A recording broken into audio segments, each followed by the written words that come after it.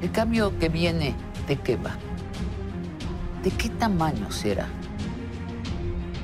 ¿Será de tamaño considerable o superficial? ¿Histórico o cosmético? ¿Qué coordenadas tendrá el cambio que viene? ¿Cuáles serán sus palabras clave, sus ideas clave? ¿Y cuál será su relato conductor? Ese relato de futuro que se intentará bajar a la realidad. Acompáñenos al interior del cambio que viene.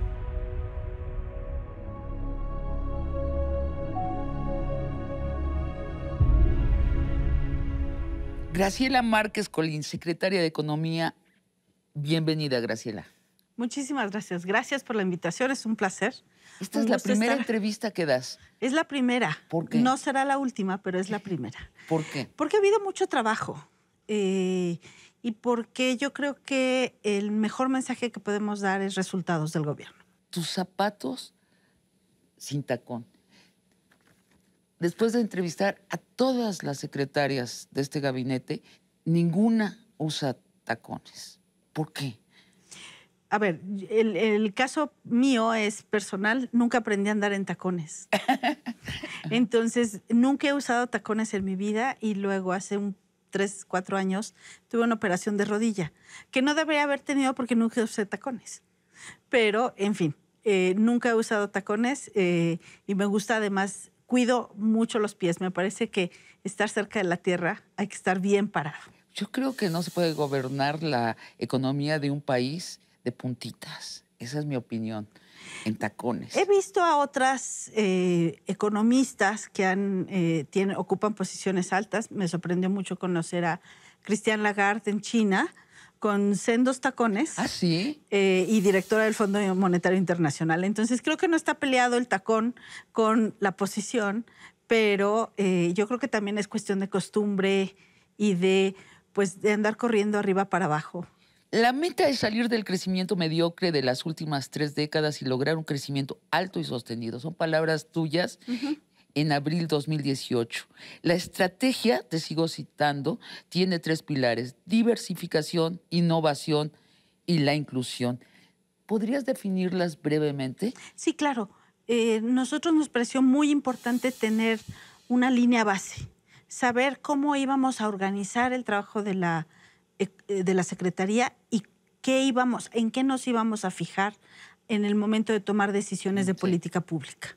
Diversificación significa que tenemos que producir más en más estados de la República, tenemos que vender más de nuestras exportaciones a más mercados, lo tenemos altamente concentrado con Estados Unidos, no nos vamos a cambiar como país de región geográfica, estamos geográficamente eh, cerca de los Estados Unidos, pero podemos vender un poquito más a, América Latina, Asia, Europa. Eso es diversificación.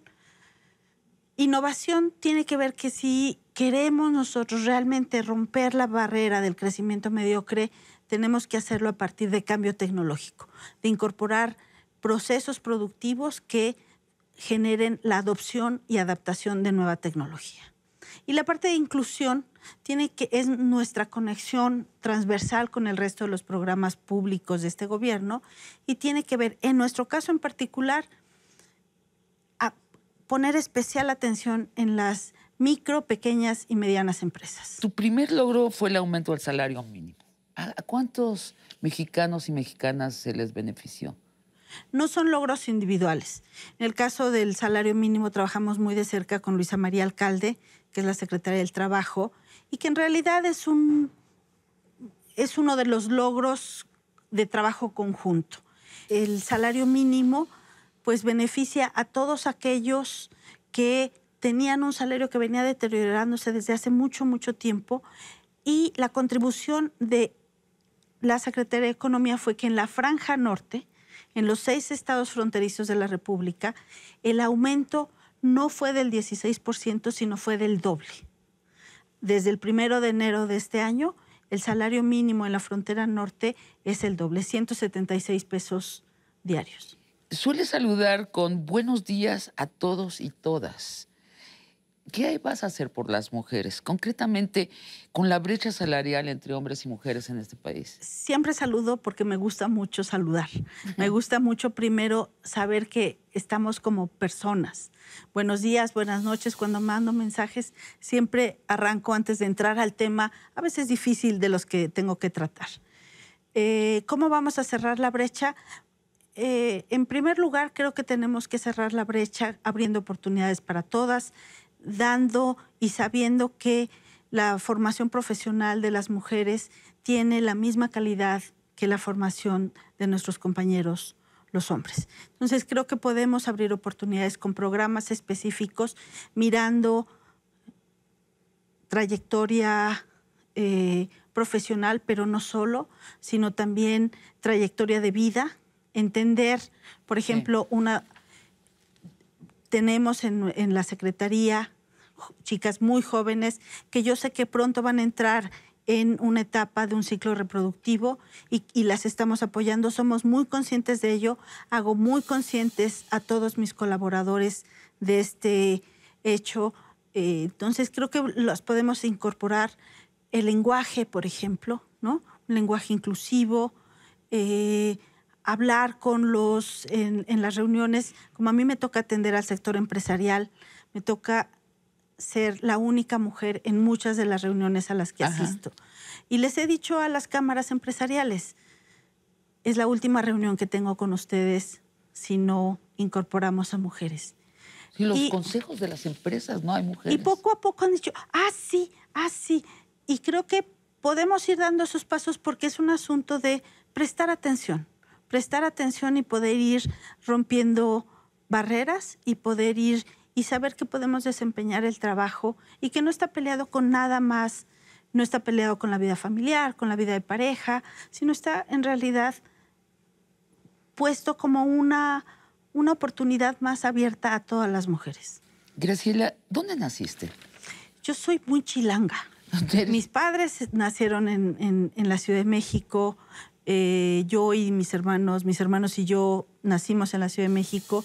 Y además del sur de la Ciudad de México. Entonces soy muy sureña. Eh, durante mucho tiempo lo más lejos que iba era a la UNAM. ¿En qué colonia naciste? Nací en Tlalpan, en, el centro de Tlalpan. Entonces lo más eh, era entre Tlalpan y la UNAM. Entre Tlalpan y lo, era lo más al norte que caminaba yo. Ahora es la zona más culta del país. Sí, y además, bueno, eh, yo creo que cultura hay en todas partes. ¿No? Es la, cultura formal, digamos. La, cultura formal, pero déjame ponértelo así. Entre la Condesa y la UNAM se leen tantos libros como en el resto del país en conjunto. No, yo lo sé, yo lo sé. ¿Tus padres a qué se dedicaban? Mi mamá fue maestra de primaria. Fue mi maestra de primero de primaria. Ella me enseñó a leer. ¿Qué tal? Entonces, mi afición por la lectura empezó en casa y en la escuela, pero tenía a la misma a la persona. Misma persona a la misma persona insistiendo en la lectura. Mi papá estudió economía y luego trabajó siempre en la iniciativa privada. Te iba a preguntar, ¿cuándo decidiste ser economista? Mejor te lo cambio y te digo, ¿cuándo decidiste tener la profesión de tu papá? Nunca decidí tener la profesión de mi papá porque mi papá nunca ejerció propiamente como economista. Ah. Él en realidad, y después lo platicamos alguna vez, en realidad él fungió más como administrador, como ingeniero industrial.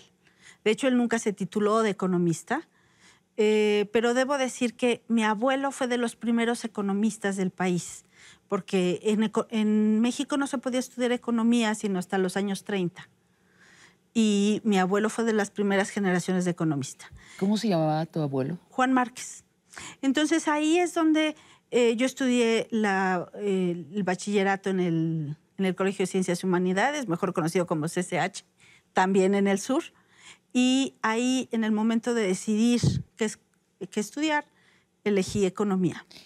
Estudiaste la licenciatura en economía en la UNAM, la maestría en economía en el Colegio de México, una de las instituciones más prestigiosas del país, luego un doctorado en historia económica por la Universidad de Harvard. Esto me llamó mucho la atención. Fue en Harvard la citadela del pensamiento liberal económico norteamericano que dices, no me gusta el liberalismo económico. No, eh, yo había siempre había tenido una afición por la historia. Eh, tuve una muy buena formación, grandes profesores, historiadores, historiadores económicos en la UNAM. Mis dos tesis, tanto la de maestría como la licenciatura, eh, fueron de historia económica. Entonces, en el momento de, decidir em, el doctorado, dije, bueno, yo ya sé economía, podría saber más, pero quiero también recuperar esta otra beta de la historia económica, básicamente porque me interesaba explicar el largo plazo, eh, explicar el crecimiento, porque el crecimiento es un proceso de largo plazo. Entonces, quería yo entender las raíces profundas de cómo las economías alcanzan el bienestar. Es allí cuando estudias historia de la economía que dices el liberalismo no es el único camino. Sí, eh, aunque de, nuevo era no solamente la historia de la economía, yo estudié desde historia medieval, por ejemplo. Entonces tuve la oportunidad de ver el cambio histórico de largo plazo, que va más allá del liberalismo. El liberalismo apenas tiene 200 años, más, un poco más de 200 años. En realidad, mi, formación histórica me lleva hasta la Edad Media, hasta los grandes momentos de transformación eh, histórica. Tu tesis recibió el premio Gerschenkron, otorgado por la Economic History Association. ¿De qué trataba tu tesis? Ah, pues eso es muy interesante porque trataba de algo que hoy hago, que es la política comercial. Entonces, ah, yo lo que estudié en mi tesis de, doctorado fue eh, cómo se fue construyendo un sistema de aranceles para incentivar la producción nacional dura, entre 1872 y 1910 y qué grupos participaban y cuáles eran los intereses que jugaban nacionales y extranjeros para definir de qué, de qué altura eran los aranceles, los impuestos a las importaciones. Realmente es un tema fascinante porque me conectaba con el proteccionismo. Yo empecé la, la, tesis en 1900 ya propiamente la escritura de la tesis 1995. Acababa de firmarse el Tratado de, eh, Libre, Comercio, que se anunciaba como la gran ruptura, el antes y el después de México. Eh, y se hablaba entonces de libre comercio, y yo quise ir a indagar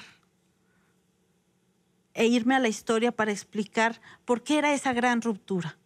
¿Por qué pasábamos de un sistema proteccionista a un sistema de libre comercio? Y me fui para atrás y para atrás, primero tratando de pensar que iba a estudiar los años 1930, 1940, y me fui para atrás, para atrás, hasta que en algún momento dije, bueno, ya voy a empezar porque si no, no voy a terminar.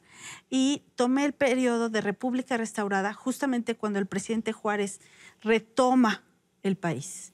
Es fascinante porque estás en un momento histórico donde nuestra disyuntiva es precisamente irnos al proteccionismo, que es lo que temen mucho nuestros liberales, este, mm, o irnos a dónde. Es que yo creo que yo, una de las conclusiones a las que he llegado desde hace algún tiempo, y en particular ahora que tengo esta responsabilidad pública, es que no tenemos que elegir no tenemos que elegir entre proteccionismo o libre cambio. Lo que tenemos que hacer es hacer una combinación virtuosa entre las fuerzas globales y el mercado interno.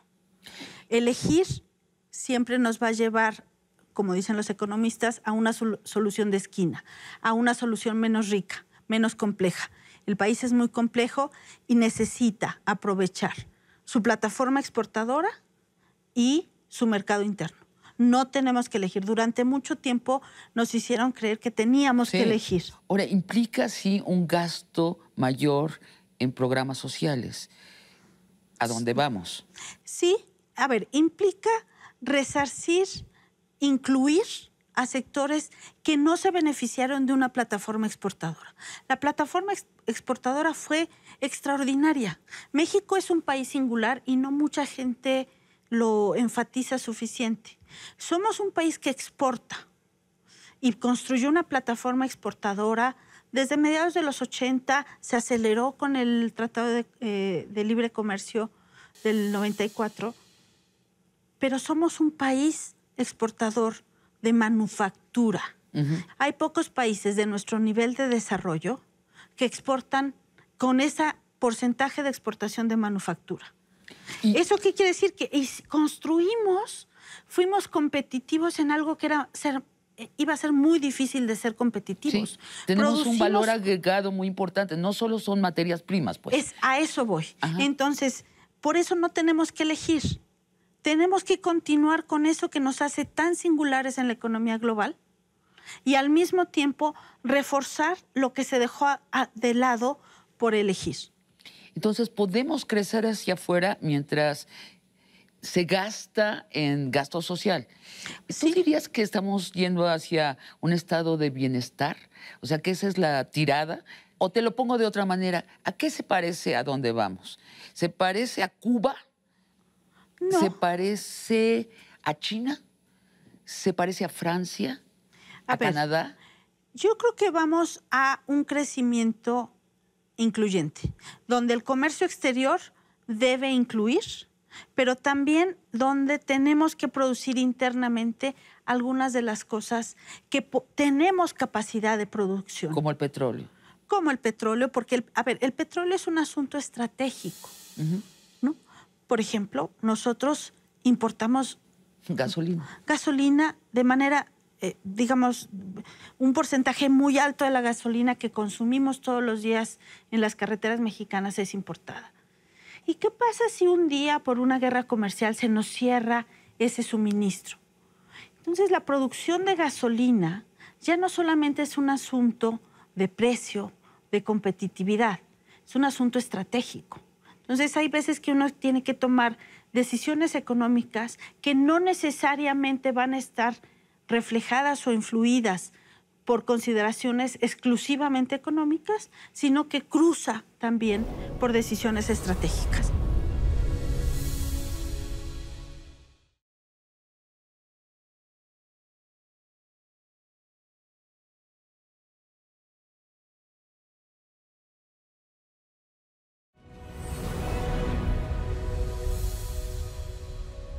Graciela Márquez Colín, secretaria de Economía, ¿qué le dices a los empresarios a los que les da desconfianza que una académica sea la secretaria de Economía y no alguien que esté ligada muy directamente a la acción empresarial?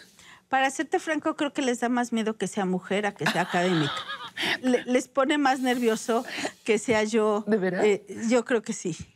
Eh, porque claro, cuando me escuchan hablar, saben, que, soy articulada, que, puedo hablar con ellos perfectamente de todos los temas, que lo que, lo que sé lo digo, lo que no sé lo estudio. Eh, estoy rodeado de un extraordinario equipo eh, muy experimentado. Entonces sí, entiendo la duda y la pregunta en términos de por qué una académica. Bueno, es una académica que se rodeó de funcionarios de larga data y que de ellos abrevo la experiencia y que yo aporto un poco la reflexión y un poco pues la pregunta, ¿no? La pregunta siempre de ¿y lo podemos hacer distinto? Suena como que es muy coherente tu, tu proyecto. Y bueno, como dices, está afincado también en nuestro pasado reciente. Esto está platicado con el presidente, con Andrés Manuel López Obrador.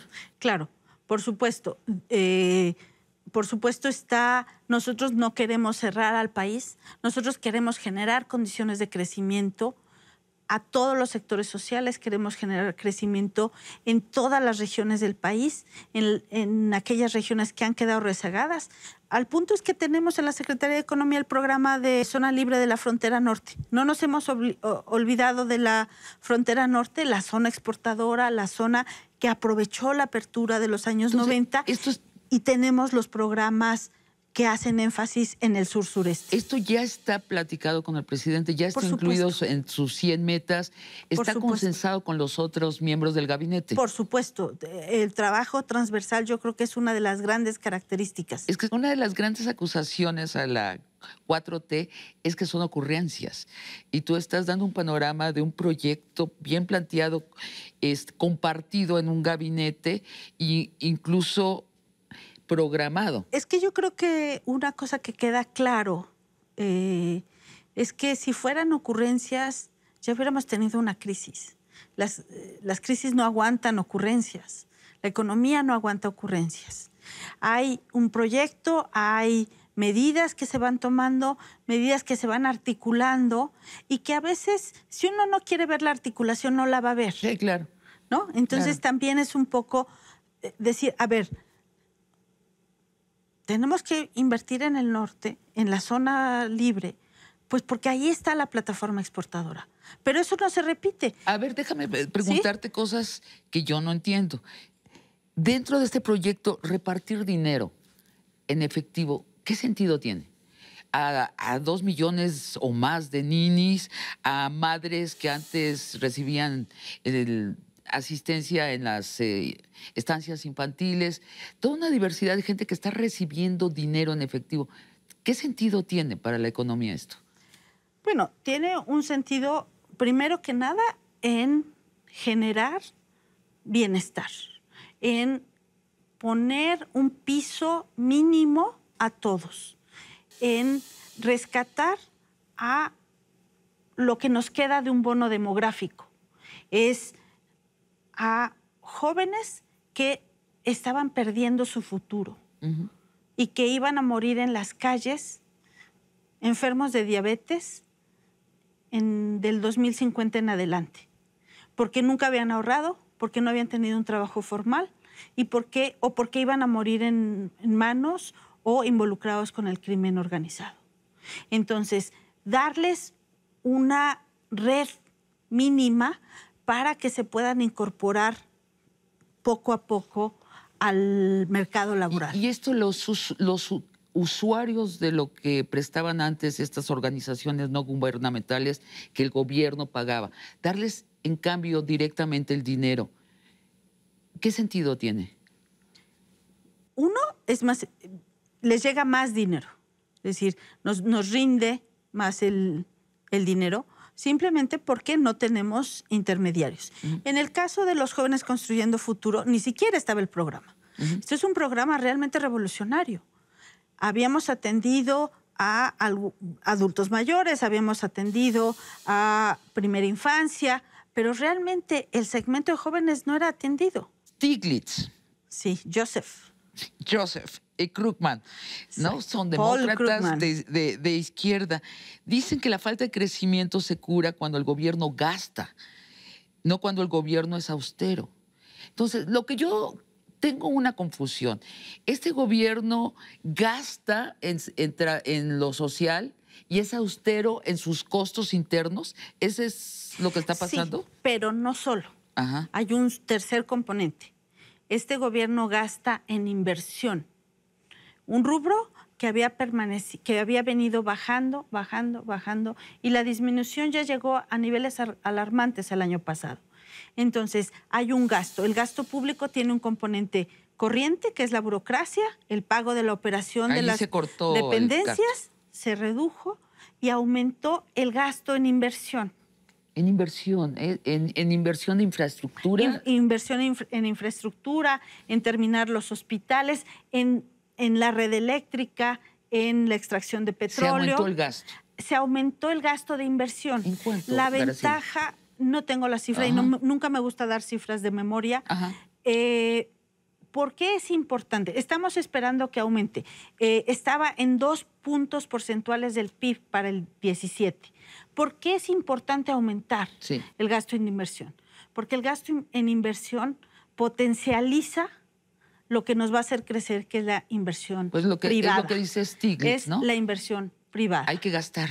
Hay que, el gobierno tiene que gastar para que los privados gasten.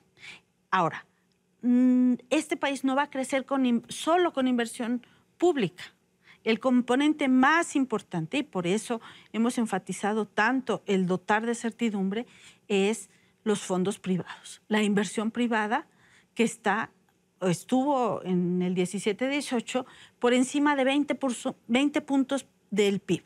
Hay gente que dice que está paralizado el país por la falta de inversión de los privados. ¿Es verdad?